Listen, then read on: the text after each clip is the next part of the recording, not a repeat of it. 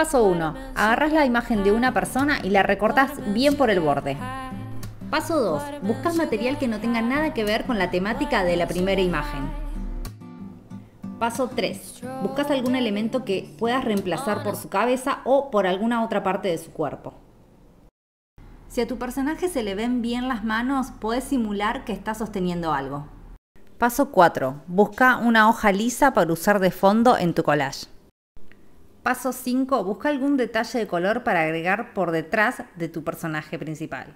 Paso 6. Finaliza tu collage utilizando pegamento en barra. Seguime para más consejos collageros.